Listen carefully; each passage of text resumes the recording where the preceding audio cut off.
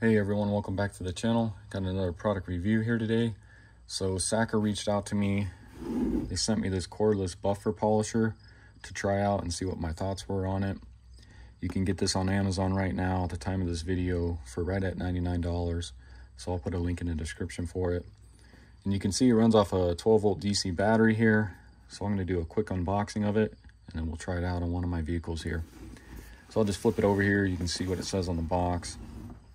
So it looks like we got six different speeds you can choose from on it.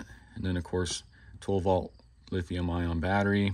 And then uh, it uses the sticky disc. It's almost like a Velcro style that you just uh, stick on there and then pull off when you're done with it.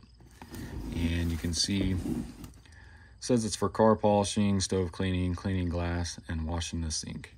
And my main purpose for it is I'll be using it for car polishing. So let me go ahead and uh, open it up here show you what all you get.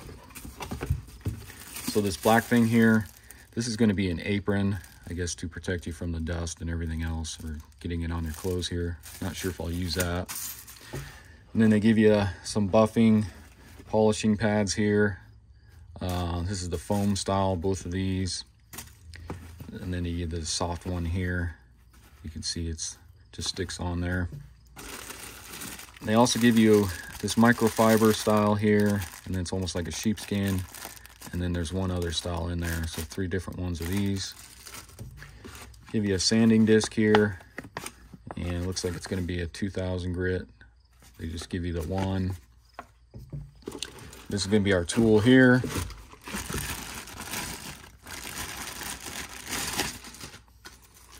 you can see it's pretty lightweight, not too bad. They got this rubber grip on here to, help you grip it.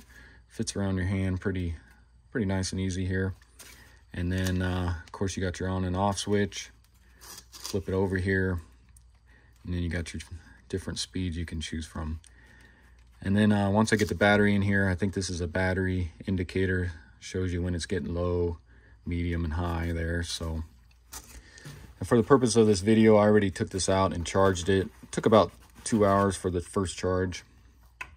And uh, you can see your battery here is a 2000 milliamp hour battery. And you can get the another battery. They only include one with it, but you can get a replacement one on Amazon. I'll put a link in the description for that. And right now that's going for $22. So be kind of nice to have a backup battery as well. And this just plugs in to the battery right here and then you got uh, some level indicators. So when you first plug it in, this will be red, this LED light. And then once it's done charging, it'll be green. So let's go ahead and uh, put this in the tool here. And uh, we'll go ahead and set it on one. Go ahead and turn it on. And as you can see, we're in the green there on our battery. So I'm assuming these will shut off once it starts getting low. And you can see you got your different speeds. Go all the way to six here. Turn it off. And then I'll show you on these pads. The Velcro style here. Just sticks on there really easy. And if you need to, pulls right off of there. So let's go ahead and uh, try this on one of the vehicles here really quick. Okay, so really quick here, I just want to show you. I went ahead and opened this, and they actually give you three different microfiber style ones here. And of course, the sheepskin style one. And then I'm not really sure what this one's for, or maybe it's just a cover to put over it when it's in storage. But you also get this one as well. And then I went ahead and opened up the apron here. You can see it's just kind of a little apron here. Got your strings. And then you also get a like a little front pocket here. You can slip whatever you need to in it. So I'm going to go ahead and try this out on my Ford Focus here. Since I've owned the car, I've never waxed it or anything. So I'll go ahead and just try this Nu Finish, once a year car polish on it. All right, so I'll go ahead and try this on the roof here. Went ahead and washed this yesterday. It's kind of hard for you guys to see, but there's a lot of watermarks on here. And then hopefully you guys can see with the reflection of everything. So like I said, I'm going to be using this Nu Finish. I got a little bit of this left here. We'll try it out. And then I'll be using uh, this pad on it. So I'm going to go ahead and add just a little bit on the pad here. And actually that was quite a bit, but then just kind of mix it in, on your paint here. And let's go ahead and try it out here. I'm gonna go ahead and start out with, uh, try it on three there.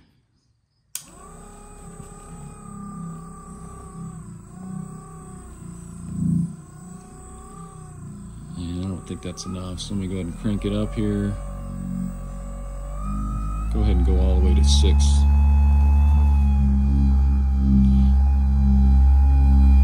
And so far, not too bad. Fits right around your palm of your hand really well. So I'll go ahead and do a section of the roof here, then I'll let it sit and dry, and then uh, we'll wipe it off and see how it looks.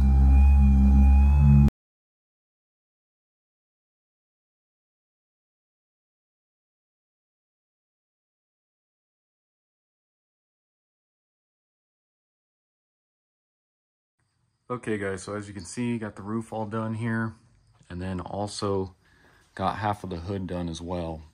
So I'm gonna go ahead and do the other half of this hood, and then we'll go ahead and wipe off the roof. And as of right now, I'm at a pretty much the halfway mark is what it's showing on the battery indicator here.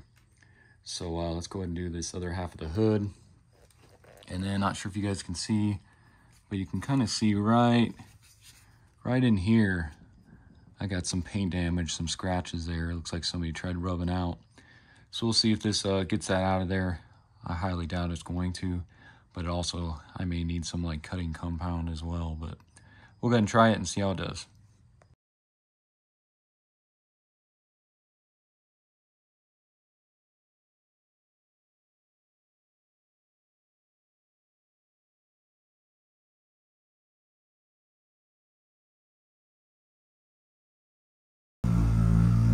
Guys can see, show you here, you can see the indicator level there, so we're in the red now. All right, so I'm just gonna use a microfiber towel and just take all this off by hand because I wanna save that battery for the rest of the car there.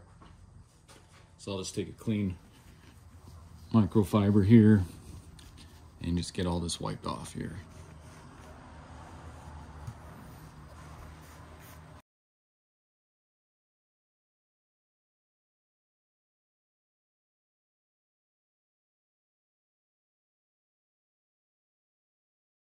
Okay, so I got that all wiped off and uh, feels pretty good here.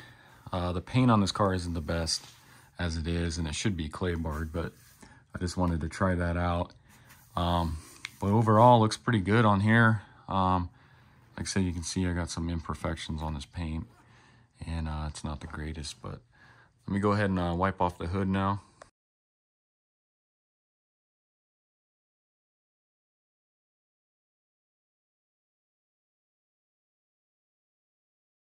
Okay, so I got the hood all done as you saw, and you can still see right here. So it didn't take that out, but like I said, that could just be because the stuff I'm using. So if I had some cutting compound, I might take that out a little better here. But uh, overall, I mean, it's doing what it's supposed to, you know, polish it, and uh, seems like the battery's still going here.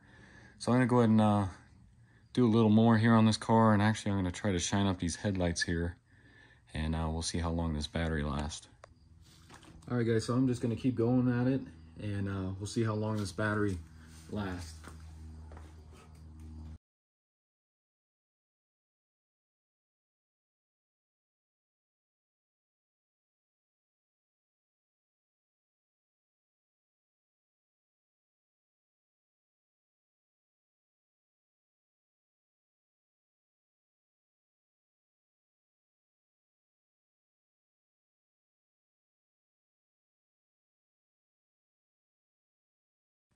Okay, so as you saw, I was able to do this whole side on that battery as well.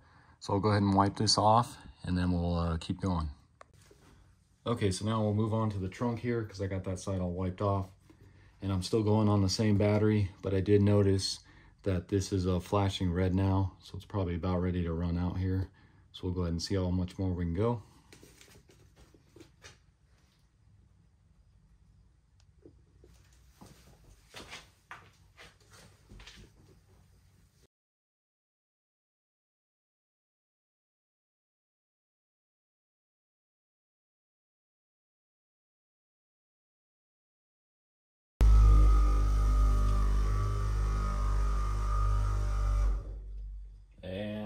Go. So now it's, well, it's probably gonna die here. Just shut off on me. And there you go. So still not too bad. I was able to get the roof, hood, one side, and then half of the trunk uh, done on the single battery. All right, guys, so I'm gonna go ahead and close this video out. And I'm actually really impressed by this uh, Saker cordless buffer polisher. Uh, the thing I was worried the most about was the battery life. But as you saw, I was still able to get pretty much three quarters of the car done on this single battery here. And as you can see, I got it charging now. And that'll turn green once the uh, battery's fully charged here. But if you're gonna get this, I recommend getting a second backup battery. Like I said, it's about $22 on Amazon. I'll provide a link in the description for that. I'm actually gonna pick one up myself because, uh, like I said, this actually works better than I thought it was going to because this is my normal go-to one. It's a Porter-Cable. And as you can see, this one's corded, so that cord kind of gets in the way a lot. Plus, this is about probably three times heavier than this one here. And really, um, it's not much of a difference. I mean, this is probably going to be a lot more powerful, even though you still got your six settings on this as well. But uh, you don't have to worry about a battery on it. But still, like I said, pretty impressed by this.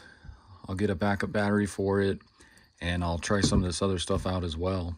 So overall, um, not really any cons on it. Maybe the only con I would say is uh, the power on and off button's kind of in a weird spot.